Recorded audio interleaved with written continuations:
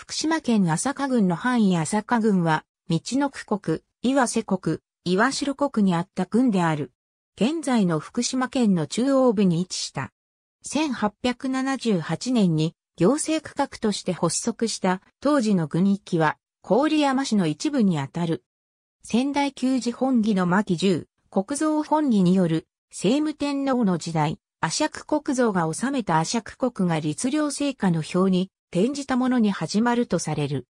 養老年間の短期間であるが、白川郡、岩瀬郡、忍郡、会津郡と共に、道の区国から分立した岩瀬国とされた。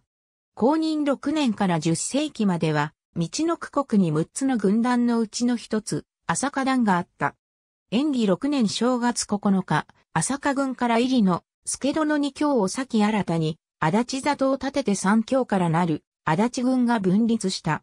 中世以降に、坂の上の田村丸の末を称する田村氏が支配する、阿武隈川の東を田村郡に分立した。平安時代の和名類受賞には、以上の八号が記されている。8世紀前半の木簡に、竹部大丸という兵士らしき人物の出身地として、ひひさと河合里が記されていた。